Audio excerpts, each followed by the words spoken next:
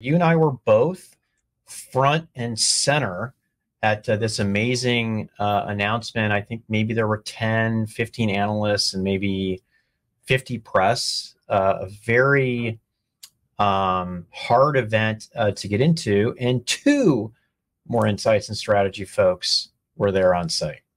Yeah, great event. Really um, very exciting, and I was very honored to be there. Um, got to meet the CEO of Microsoft, which my kids thought was very cool. Heck yeah, um, you did. Handshake. That was very cool too. I'm not trying to be cool yes. about that. I thought it was very cool. My, my kids He's one, so He is one of the hardest CEOs to get time with. So yeah, that was good. Yeah, I mean, I want to go through kind of all of all of what happened. There was a lot of announcements, um, but one of those one of the things that I think is really important to talk about is that that he is a hard CEO to get time with, and he sat down with us and talked to us about strategy, talked to us about you know just everything that's changing in AI, how quickly things have changed since the last since the first time he got on stage and talked. You were there in in Washington when he first got on stage and talked about Bing Chat and at the time, when I look back at the things that we talked about and the things that we wrote back then, the way that we talked about large language models, the way that we talked about any sort of generative AI was almost like we were explaining it to a child when you look back at it because it was so new for everybody. And now it's so common. And Microsoft is actually just making it more common and more accessible to everybody with a lot of these announcements. So it was everything. I mean, it was Windows 11 update with Copilot in Windows. There were some device updates of new devices. I mean, it, it, was it was kind of not all over the place in terms of scattered, but it was all over the place. You know, from updates to new things, new devices, new new products in within products. So, I think the big standouts for me, if we're talking about just modern work, were all of the things that are available in the Windows 11 update um, there's a lot of things for creativity, paint, photo, snipping tools, things that kind of give it like almost a, an Adobe Light like functionality. I think that's a fair characteristic. Yeah. And I think it's really important to note that there's a huge creator economy out there right now. People are making a lot of money as a side hustle, making a lot of money as their main job. We're not talking about just marketing teams, we're talking about people who are creators on you know social media and various platforms e-commerce platforms that it's a you know very large industry and they're making these tools that make things like putting create or putting images into just a word document make with a chat in, in, a, in a chat box makes that so much easier. Imagine like not being you know when you're trying to create an image and having to you know not not everybody can use Adobe Illustrator. Not everybody has you know access to all of these images, and you can just say like create an image for this, and it reads into the content of your document and creates an image that will match up with that document. So there's a lot of things for creators.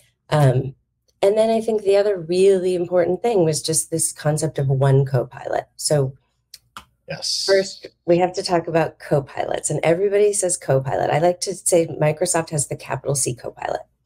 They do have a little bit of a branding issue here because everybody has since, you know, they can't trademark that.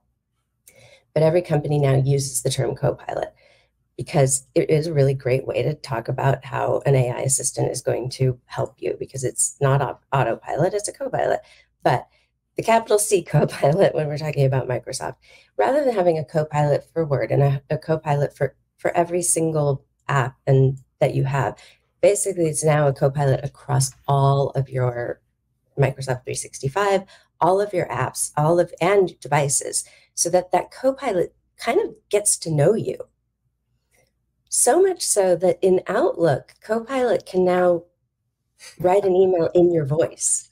right. Which I think that's just the start of it. So that, you know, uh, what is it called? It has a, there's a name like in my sound like me. It's in my, yeah, sound like me. Right.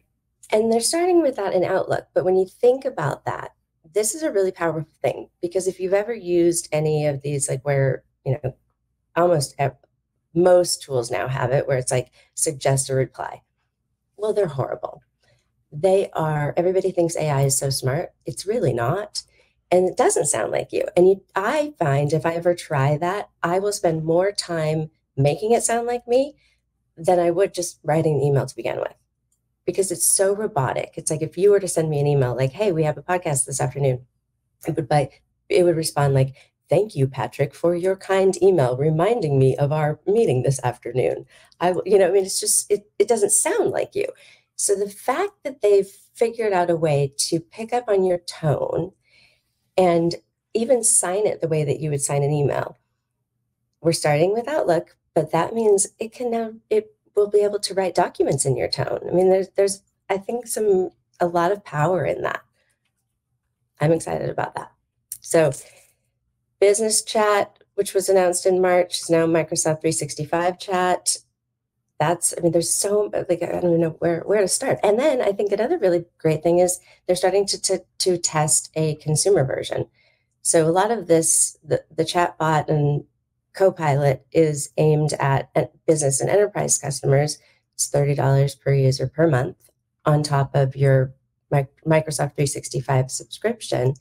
But now they're starting to test a consumer version. So that means it's really going to be in the hands of everybody. So productivity for life. It's not just like for one, you know, kind of zone in, in work or whatever. It's across the web, it's across your apps, it's across your work data. It's and it and it's going to get to know you. It's a little creepy in a good so, way. Yes. So technically, there's more than one co-pilot. Just to put it out there, the, the key here is it's a singular experience that yes, if you're using uh, Copilot for consumer, that's called Copilot. Uh, mm-hmm. is going to be a similar experience to M365 Copilot. The data sets are not blended. Okay. And that's by design to keep uh, corporate information separated from personal information in a very similar way that corporations uh, firewall employees' phones. So mm-hmm. technically, uh, it is more than one co-pilot, but the experience is is the same, and, and that's important. At some point, maybe, probably not, uh, the data sets will cross each other, but there is going to be a different copilot for uh, Dynamics 365 applications. Okay, that that uh, where it's more CRM focused, but the experience will be the same, and and that's the key here. Um, the biggest thing for me is this being integrated into Windows, right? Mm-hmm. Uh, and we can't. I mean, there are not two billion, but almost two billion active users on on on Windows. When you add Microsoft 365, you get I think to 2.5 billion. The the scale is is crazy, and this is where Microsoft is most unique, particularly on the uh, on the business side and, and the productivity side.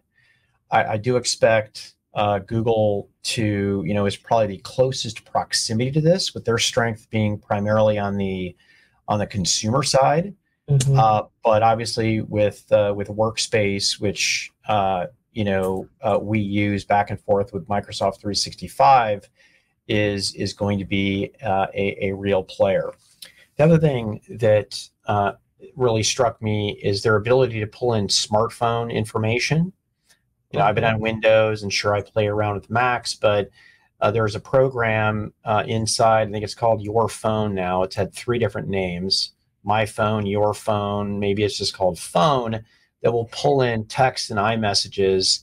And uh, I, so this is something I use every day in Microsoft, eh, starting Windows Photos, which is uh, pull in everything that I took from my iPhone. So then about 15 seconds of taking a picture on my iPhone, it just shows up like it does on a Mac, but mm-hmm. this is going cross-platform. And I think that's very powerful and something that everybody needs to keep uh, their eyes on that, that to have full context and the best context, you need data from pretty much everywhere.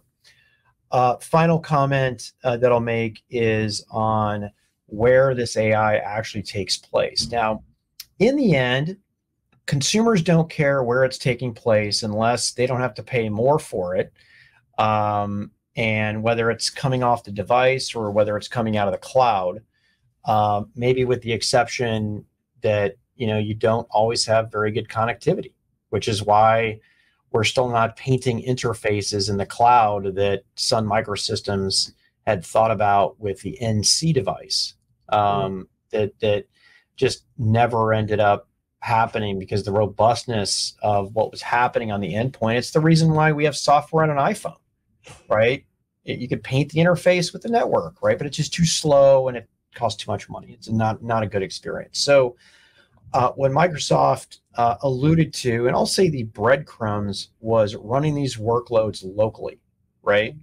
We saw the um, uh, high-end uh, Surface Laptop Studio 2 uh, running uh, LLMs locally, okay? Mm-hmm. And that's using a discrete NPU from Intel that that ne- the next generation of Intel products will be integrated inside the device itself. So getting a, a much uh, much lower uh, power. But you know they flirted this uh, with idea um, and an interview that I did on the six five, the really the six five. Uh, with the actual CTO there talked about um, this notion of hybrid compute, where the compute happens in the best place uh, according to the user. But great event. So much talk about. Looking forward uh, to your write ups, and I'm probably going to write something up uh, as well.